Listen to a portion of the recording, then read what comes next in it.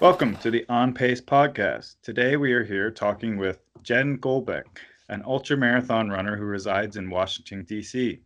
She is a computer scientist as well as a professor at the University of Maryland. Uh, companion to her squad of five famous golden retrievers from the Instagram page, the Golden Ratio 4. How are you doing today?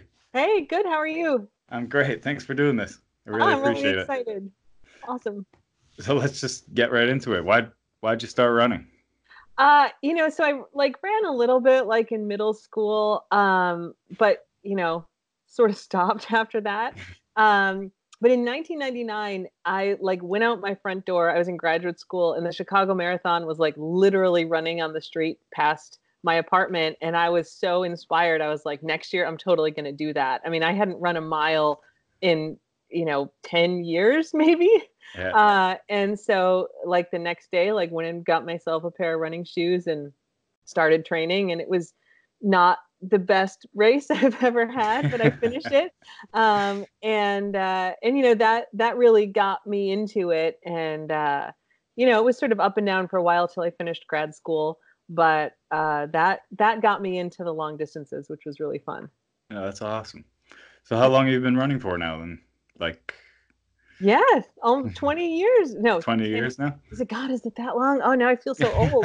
yeah, since 1999, I guess um, you know, more and, and, less sometimes. But I, you know, after I did that, I took some time off for marathons after that. But I was doing a lot of half marathons and stuff uh, while I finished graduate school, and then um, it's probably been you know 12 or 13 years that I've been kind of consistently doing lots of marathons, and then like moving into ultras. Yeah, how'd you how did that happen? How did you move into ultras? so my first ultra actually was not long after my first marathon. Uh, so I ran the, it, yeah, it was quite a thing. So I, I ran the 2000 Chicago Marathon, which is in October. Um, and I finished, but like I, I was undertrained. I was really burned out at the end of it. And so I didn't run again for like six months. Like I finished that marathon and like that was it. I didn't run all winter. and uh, in like April, I was like, all right, like it's time to start running again. It was starting to get nice out. So I was looking through like the online list of races for like a 5K to run that weekend. And I saw on there there's a 50K, which is like an insane number, right? If you're looking for a 5K, like this doesn't make sense. And I turned to my boyfriend at the time and I was like, hey, there's this 50K, like that's what I should run, totally as a joke. And he's like, you couldn't do a 50K. And I was like, well, okay. So I signed up for it. I mean, I hadn't, I hadn't run for six months. I'll show um, you. yeah, yeah, I'm like, this is stupid, but I can do whatever stupid thing I want to do. Um, so yeah, I, I did it. So I ran about the first 10 miles. I walked the last 20 miles. I think I cried for pretty much most of the end of it. Uh, it took me almost eight hours on like a perfectly flat course. Um, but I finished it, right? So I proved to him that I could do it. That was terrible. Um, so I don't really count that. Um, but, you know, I had you know, I'd done a bunch of halves and then started doing more and more fulls where I was doing kind of a full marathon every month. And and after doing like a year and a half of that, I was like, all right, you know, time to try some more distance and see if it's as bad as I remember. Um, and the 50Ks were much easier, it turns out, with some training and like consistent miles. And so, um, you know, 50Ks and then, you know, on to 50 milers. And I've done 100K. And my first 100 miler, if all goes well, will be the Keys 100, which is, I think, a month away, little less a than a month away. Yeah. Uh, so you're in full swing preparation mode still. I am in like the heart of the hard stuff. I ran, you know, all weekend last weekend, and then uh, I'm doing a 50 miler on Tuesday this week, just because the timing works out for that. Uh, it's a um, perfect lead up race. Yeah, yeah. So uh, and then uh, then I'm going into taper. So one one more hard week, and then it eases up. So what do you do for your hard uh, training to get ready for that? Uh, I eat a lot, which is easy for me. um, I really love my carbs, and so uh, so I do a lot of that. Um, and I've started just like in the last month or two doing Pilates because you know I think everyone who does ultras discovers these weird muscle imbalances and things that hurt. Um, yeah, and for me, huge part, yeah. For sure. And you know, I've been to PT for random stuff, and they'd always been like, you know, you got to work on the core. It, you know, it's not bad, but it isn't as strong as it was. And I would have issues like around my hips and different parts. And so, kind of on a whim, said, well, try Pilates, and uh, it's been great. I mean, even after a week, I could really tell a difference in my running and and stuff that would hurt on my long runs was not hurting as bad. And so that I've started doing pretty much every day and has been like this great introduction. Um, and so like even when i'm doing like timed runs right like so last weekend i did six hours one day and four hours the next day i'll like run an hour to my pilates studio and then i'll do a class and then i'll go run another five hours after that uh, so just mix it in. you feel um, fresh after that eh? Yeah i mean it, the stretching is great and the core work is amazing. So uh so it doesn't it's such a different workout than the running that i feel like i can really just mix them together. And uh and that's been great uh really helped I find that with yoga a lot. After I do like a yoga class, you can go out and just have a nice pain-free run and yeah, not working against your own body the whole time. Right, right. It's it's really fantastic. so so your training is Pilates and lots of hours of running. that, that's it. Um, when lots I'm, of carbs. lots of carbs. Yeah, yeah. Um, when I'm not like deep in the training like this, I'll sometimes cross train like cycling. I used to do triathlons, but running is really what I like. So that's that's what I like to spend most of my time doing. So how do you find time for that with uh well the two jobs that I mentioned before? yeah. How do you fit um, that in? I I use it for like uh, commuting, for example. So I don't I don't run to oh, commute okay. to work but like when my husband and I'll go out on a date for dinner, he there's two ways to get to his office from our house, and it's either eight and a half miles or 13 miles. Yeah. And so, you know, in traffic in DC, that'll take me an hour to drive. And so I'll run instead, which, you know, takes longer. But basically, that hour that I would be driving, I kind of that becomes running time. And so my two hour run is really like an hour run and then an hour of time that I would be driving. So I fit it in a lot like that. This um, is uh, this is becoming a focal point on this show of people managing their time perfectly by using running to get somewhere. Yeah, yeah. Um, and you know, it's so relaxing, and uh, it's been. Uh, I mean, it gets pretty warm here in DC, but it's been cool enough where like I'm not a big sweater anyway, and so I can just kind of do like quick rinse off and change and go out to dinner and that works. um, works I'm yeah. also I'm really lucky. Like a, uh, my main job is being a professor, uh, which is like a great job and it's a lot of work, but it's super flexible. So I can do a lot of my hours, you know, late at night, early in the morning, whatever I want. And so um, sometimes I'll just take kind of the middle of the day. If I have to run for three hours, I'll run from you know 11 start at 11 in the morning and it's fine and then i can you know work later if i want to. So that that gives me such a benefit that i think you know a lot of people who have a more kind of normal fixed schedule it's harder i think. So you do a lot of running with your dogs i've seen. I do yeah, yeah. Uh, i have five dogs five golden retrievers. They're kind of laying around. I've got one guy back there on the couch hanging out.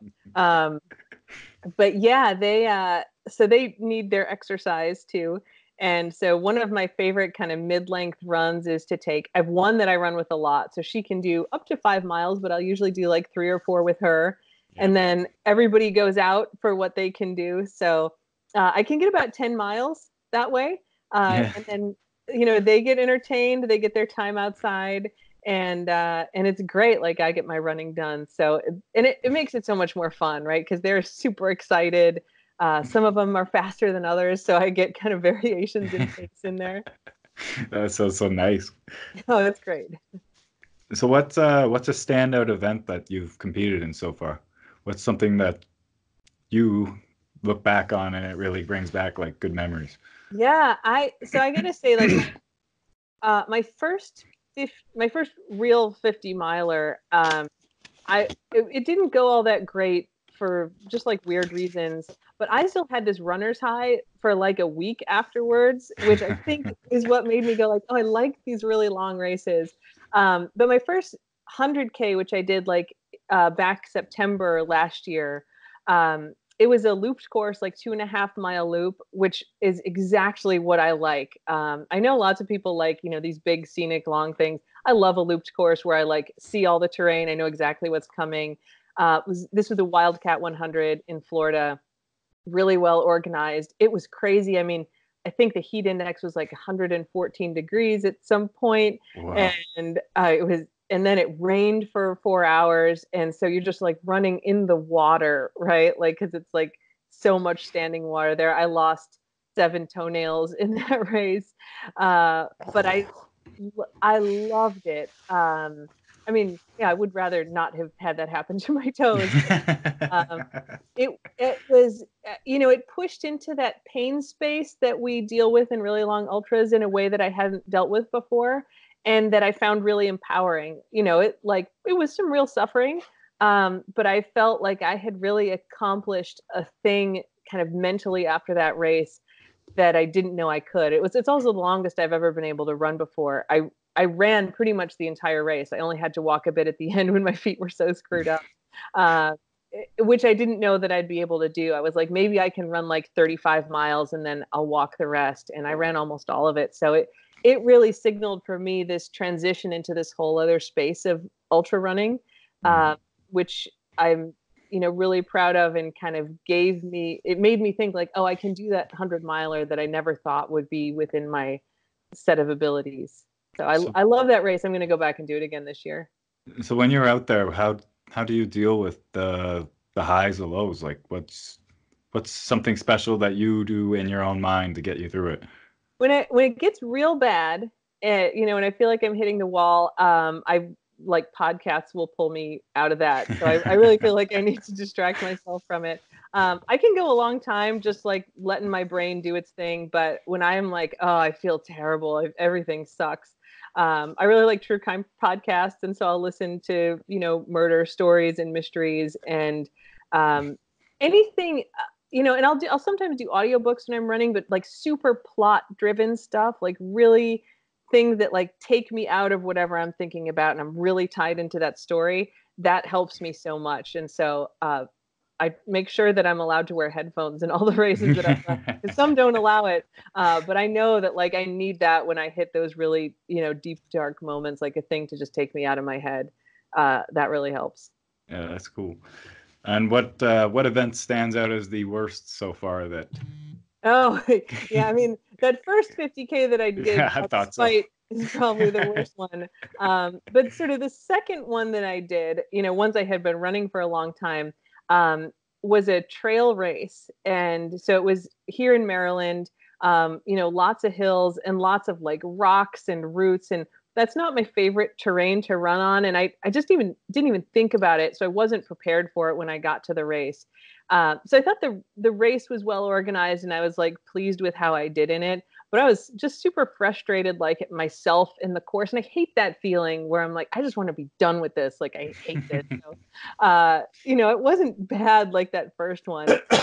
Um, I at least learned the lesson that like I don't want kind of technical trails unless i am really seeking it out, and so that helps me pick what races I'm going to do. Okay. And the well, with such like a busy life schedule, what benefits do you feel running brings to it, bring to your life? Yeah, it you know, so much of what I do as a professor is like thinking, right? Like I have to think really hard and focus intellectually on on my work, it, kind of in all aspects of it.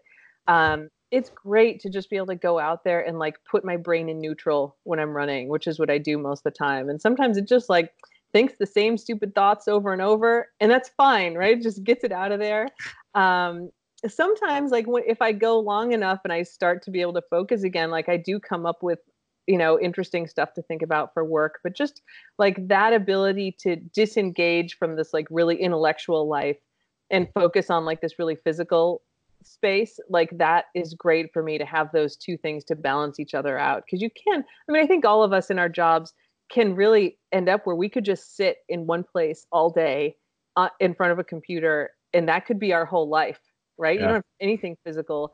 And uh, you know i i know i fell into that trap at points especially when i was in grad school. So like having this kind of goal driven running stuff even though i'm a very slow runner i'm not going to win any races but like having these distance goals like that's great. It's, it's such a nice balance in my life and i think i need it for my sanity. Oh that's good. Yeah that's uh I think that's like most runners. It's helps you balance out your emotions and yeah. It brings like that extra stress relief that antidepressant in. I've just... told people that right? Like oh running is supposed to be a stress relief and now i'm you know running 70 miles a week. So what does that say about my stress there's a lot to deal with i guess. So uh shoot i got a little stuck there for a second. That's what okay. personal achievements do you have that you brought from running? Like uh what what places have you came in some of the races? What's the farthest distance you've gone? Yeah, uh, so my 100 k is the furthest, but hopefully next month it'll be 100. 100. I, everything's going good so far. Like I don't have any injuries. All the training has gone well, so I'm, you know, I'm nervous about it still, but I'm feeling pretty confident. Um, I have. It's interesting. Like I, I said, I'm a slow runner, and like I really am. Like I'm, you know, in the marathons, I'm not you know pushing cutoffs, but I'm definitely like in the back third. Um, but I have placed in some of these smaller races that I've done, and when I did the 100K in September, they're like, "You're in second place among the women," and I was like, "Well, what are there two women?" Like, no, more, more than two. Uh, so that was good. And uh, I did a 50 miler last October, and I came in third. And it's like if you look at the results, it looks like it's out of three, but that's because like like most of the field it was a super hot day like they dropped down to the 50k so like 10 of the 50 milers dropped down so I actually beat a whole bunch of people just because like awesome. I kind of tough it out. yeah, so I was like really proud of that. I got like a little finisher's prize and everything, which is like nothing I ever would have thought like a slow runner like me would get. Um, so yeah, I'm not going to be like qualifying for Western states or anything like that. But uh, if I stick to these sort of local races that like I can handle, um, I do respectably, and that is great for me. Yeah, that's great. So I guess the heat training really helps out during those races. It does. Uh, you know, I love it. So we live, you know, here in Washington D.C. most of the time, but we have uh, a house down in the Florida Keys, um, where we live probably four or five months out of the year. And so we were just down there. It was, you know, I think the heat index was 107 on Friday. We had a really hot day. Uh, which is great training for this stuff. So I feel oh, like I love the heat training. Oh yeah, I I love it. It's my favorite, and I feel like that. Like I'm not great at hills, right? Like I don't want to be a mountain runner, um, but I feel like heat is probably my strength. So my like long term vision of a race I would love to do is Badwater, uh, which I know would be miserable, but I'd love to do it. and I feel like, you know, it's on roads, it's flat, like I'm good at all of that. And then the heat, it would take some work to get used to that heat um, to be able to run in that. But I, I feel like that's a thing that I can do, right? It would just be more of a thing I know how to do. Uh, yeah. So let's explain Badwater a little bit to somebody who might not know what it is. I'll let you take it away. Yeah, uh, there you can watch a great documentary about it on YouTube. Running on the sun. Such a good like that's I think the thing that really made inspired me to go try these longer ultras and i think most people it makes them go like no i am never going to try that um, so it's 135 mile rate or 135 miles uh, it starts in badwater basin uh, in death valley in california the lowest point in the us um, and it runs through Death Valley up to Mount Whitney. And I think originally it, it, went to the summit of Mount Whitney, which was the highest point in the US. And now you can't go quite all the way to the top. So, um, but you stop there. So you run like 70 or 80 miles on this flat paved road through Death Valley. It's like 130 degrees. Uh, people's shoes melt from being on the pavement. Um, and then you basically go up for the last 50 miles of the race. Uh, so you get a little bit of altitude in there. It, it's not like super steep peaks, you know, like some of these, you know, mountain races. It's just a slow, gradual uphill forever. And uh, yeah, it just doesn't end.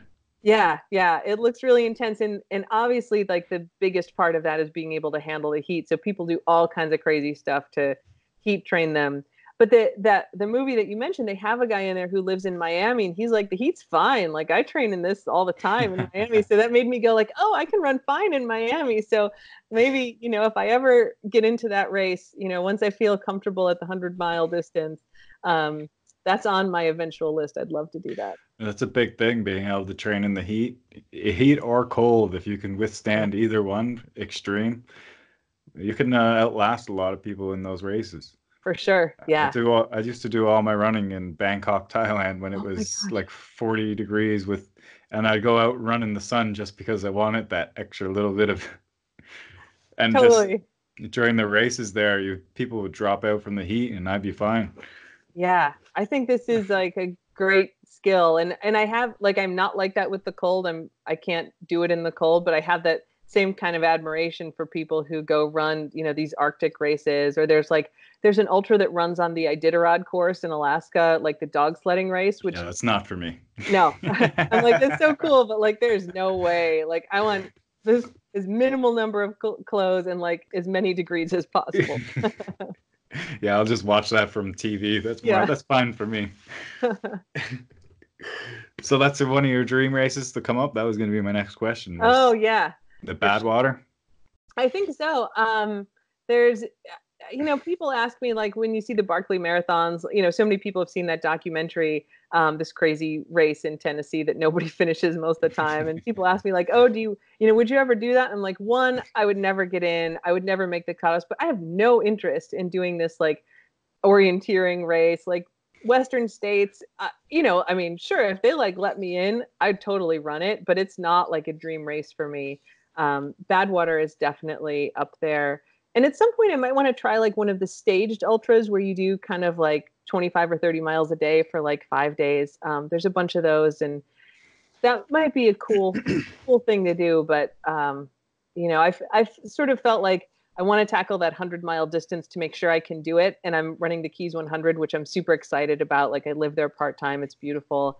And then after that, I'll see about picking out some races besides Badwater. But for now, like that's definitely top on my list as a dream race. Yeah, Bad- Badwater is a pretty famous race. Yeah, It's on a lot of people's lists. for sure. Uh, ooh, that just I started thinking about Badwater. I really like the documentary on that. It's so uh, so interesting, and you can just see so many people going through so much. The heat is just unbelievable, and it just ripped people apart. And as you said, people's shoes actually melt on the tarmac. yeah. Just, um, uh, so there's a book out. I think Cory Reese is the author who wrote. He's written a couple ultra running books. Um, like nowhere near first was his first one, like just about it. And then I think, and then he got into Badwater eventually and ran it as sort of a you know back of the packer, middle packer. Um, I think it's called Into the Furnace, and it's great about all of his preparation and uh, you know everything he went through in the race. And he narrates the audiobook, and so that's for people who want to learn more about it. Like that's another uh, really interesting kind of take from just like a regular ultra runner, not like a super elite, on what it's like to do that really famous race. yeah, yeah. So, who has anybody inspired you to get into ultra running, or does somebody inspire you from day to day? Um, you know, it was just me when I started. I didn't really know anybody else who had done them. And uh, uh, you know, I have a like an old high school friend who I haven't seen since high school, and I knew her husband had done some ultras, and so I'd posted a couple Facebook messages, and and it turns out a couple other people I went to high school with had do them and do hundred milers, and so I found like this little cabal of people I sort of know, and uh, they are great. Like they know exactly the right thing to say.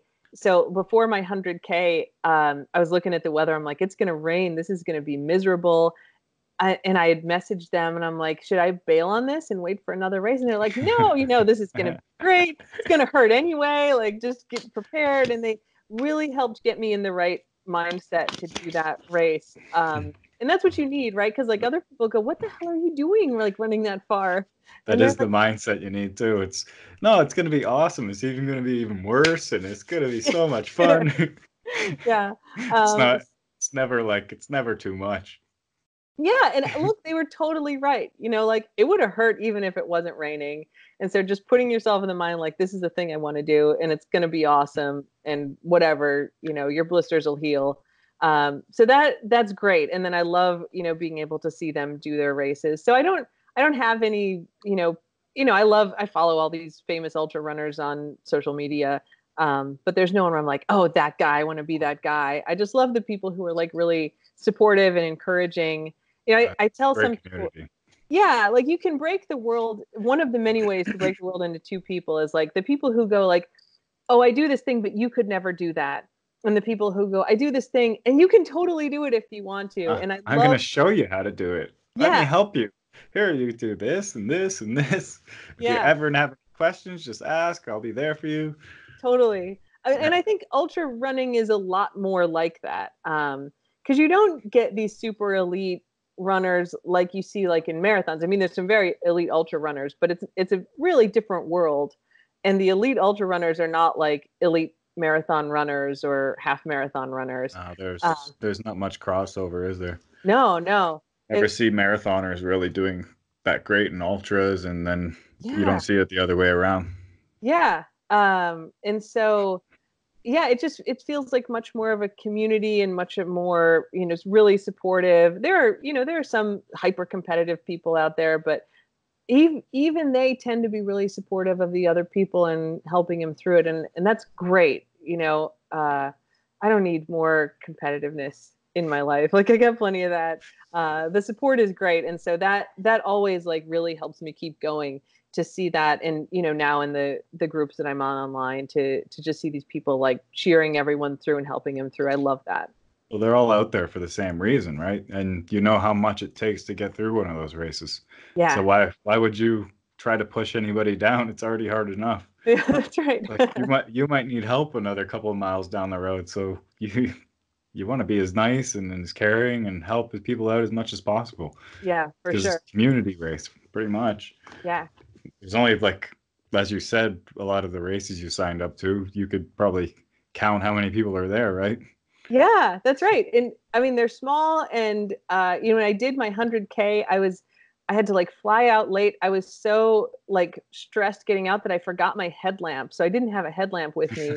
and I mean, we were running a lot of hours at night and uh, it was a loop. So I kept going past the same people and past the wife of this guy who's doing a 100 miler who was crewing for him. And I was like, God, do you have a spare headlamp that I could use? And she just, she's like, oh, I got three extras. Like, here's one. Let's change the batteries. And, uh, and every time I came past, like she offered me stuff and, you know, was kind of like, I was there by myself and she was like kind of half crewing me, which you see all these races, right? Uh, I've People- seen that on documentaries where like somebody will have like not a big enough crew and they'll be like, "Oh, just take some more guys. It's okay.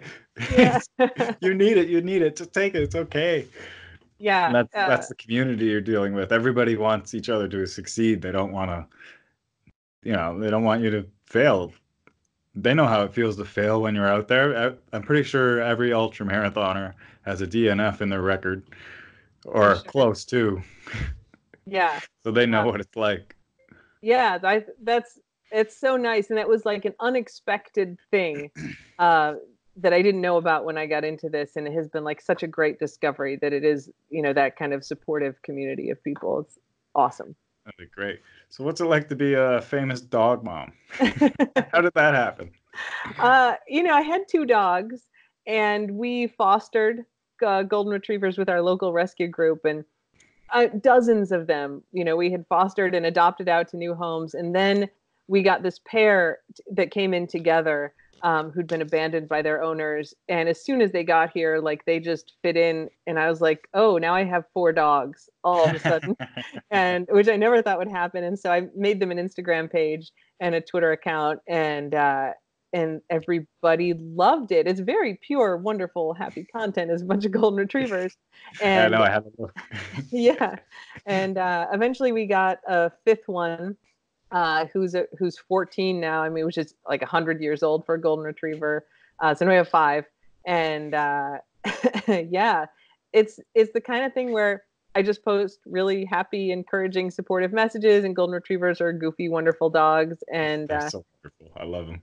it's it's like an amazing life uh, a lot of vacuuming but otherwise just like so much joy and love and everybody likes seeing that so it, it really is the kind of thing that grew itself.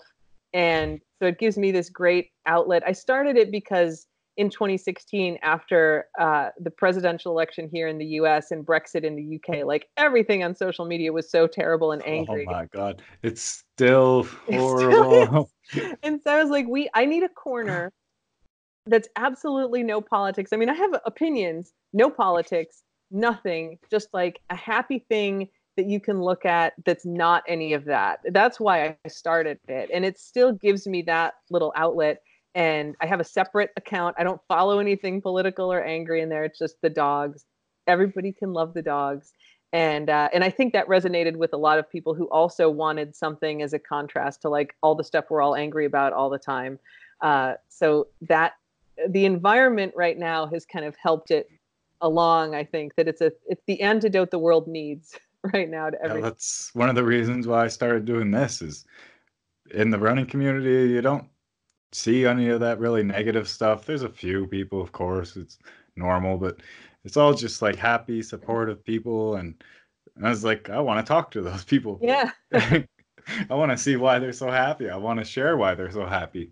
Yeah. Everybody, like almost every single runner has a like inspiring story to share and it can touch somebody and maybe inspire them to get running and help change their life for the better. I, I think so. And I see that. So I have, it's interesting. I have a decent number of followers like on my account where I post about running. Pretty much all of them have come over because they follow the dogs and they're like, oh, you're the dog mom. I follow you.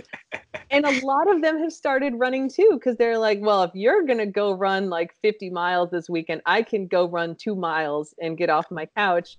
And, uh, and I love you know being able to be like hey no you can totally do this even you know you don't have to go run these crazy distances like go run two miles or just you know get outside and walk around and it's great. Yeah that's one thing that us runners like i everybody that asks me how to start running. I don't tell them you go run like 70 kilometers this week. I say yeah. go run like three kilometers and see how you feel. Yeah. and then, like after they finish, they message me, I feel amazing. I feel so great.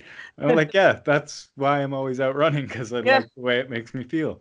It makes me feel great and amazing. And yeah. I can't I can't get mad at anything. I just feel bliss. Yeah, that's exactly right. We we need more of that. We need more people doing that and more content about things that make us happy and blissful. Like that that's what we need. Yeah. So uh, some inspiring words for other dog parents that might uh, think they don't have the time to get out with their little friends and go for a little run? Yeah, I mean, uh, you know, test your dog out first. Like, make sure like Goldens are are good, but they can't, you know, they can't run 100 miles like you know an alaskan husky can so figure out what your dog can handle work them up to it just like a new runner a little bit at a time increase your mileage every week um, but they typically love it and the thing is you know what i always tell people who are new runners, it's the same thing I'll tell people who are new runners with dogs. Don't even bring a watch. Don't time yourself. It doesn't matter how fast you go. Just like go slow. Get out there with your dog on a nice slow jog, and you're both gonna have a good time. And your dog will probably pull you along. That's great on an uphill. Let that dog pull on the uphill. Yeah, it's gonna um, tire them out too. Yeah, yeah. Look, you get your walks done faster because you're running. And so if you really feel crunched for time, like running it is going to make it take half as long as walking it. And uh, the dogs usually love it. And it's a way that you know it really helps you bond with your dogs. They love it. And way to you know take that time that you'd have to spend anyway you know getting the dog some exercise getting yourself some too. So it's it's great. And you know if you're both starting out like do a couch to 5k with your dog. I've done yeah. that with my dogs you know and they just start them running and it totally works for both and the great thing about dogs is it's basically a living alarm clock that forces you to get out and go exercise. Because once they start, eh, every time that time comes around each day, they're going to be, hey, what are you doing? Why are you sitting on the couch? It's time to go for a run. If I have a day where it's like, you know, it's cold and it's rainy and I'm tired and I'm stressed and I'm like, I don't know if I'm going to go, all I have to do is like, I'm just going to put on my running clothes and so if it were just me, I wouldn't always get out on those days, but my main running partner dog knows. And then she sits there and she gives me like these dog puppy eyes. It's like, it's time, it's time. And I know that I can't resist that. So if it's ever like I can't go, I just put on the clothes enough that she knows, and then she'll eventually get me out the door. yeah, that's perfect. That sounds, that's just like the there's no reason not to go for a run if you got a sad dog looking at you. That's right. Uh, let's. Uh, well, you got anything you want to tell people? I don't think so. No, uh, that's pretty much like perfect. Awesome. A little bit of inspiration for the people that with dogs that want to get running. You're a yeah. great example of that. let people know where they can find you, your social media pages or anything. Yeah. Um, so the dogs are what you will all probably really be interested in, and they're the golden ratio four on like every platform. Uh, the number four, and I am Jen runs with dogs is my handle on Twitter and Instagram. Um, so yeah, if you find the dogs, you'll find your way to me eventually. Yeah, pretty much. That was awesome. I really that put a smile on my face. Thank you. All right, I'm gonna. That's a great note to close the show on. Uh, we have been speaking on with Jen Golbeck on the On Pace podcast. You can find this podcast at www.onpacepodcast.com. You can find us on Instagram, Facebook, and YouTube at On Pace Podcast and Twitter at Pace Podcast. Thanks so much for doing this. I really enjoyed it. I had so much fun. Thank you. Okay, talk soon. See you. Bye. Welcome to the On Pace Podcast.